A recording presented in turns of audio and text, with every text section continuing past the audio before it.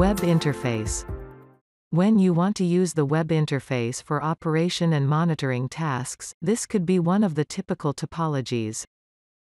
It is recommended to use minimum screen size of 10 inches and a HTML5 compatible web browser. These are the common tasks you can execute with a system controller.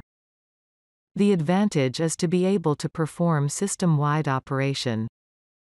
Whereas, for the plant and room automation devices, you can perform local device operations. I am currently accessing the embedded web server of the PXC4 device with Hello World Plant configured. You can see the connection is secured as I have also installed the root certificates on the client after exporting them from ABT site.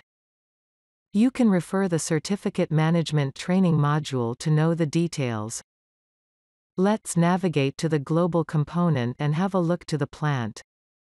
You can observe that the navigation is quite user-friendly and even provides an overview of current selections. Our aim is to execute data point commanding and check the results. Let's use the advanced filter function to find for example the fan command. I would like to override and turn off the fan. Use the hand icon to do so and change the value. The overview of all manual overrides can be viewed here. Use the same icon to release the override. Click on the three dots to view the properties of the corresponding element. Navigate to the scheduler to view the configuration. The UI is similar to the programming editor and you can even edit it from here.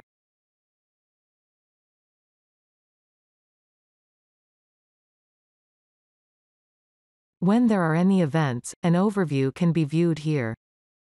And if it is required, the event notifications can be suppressed from the menu here. Choose the timeline and click on Yes. When the maintenance is finished, the notifications can be turned on manually or it will automatically turn on as per the timeline chosen. You are at the end of this video.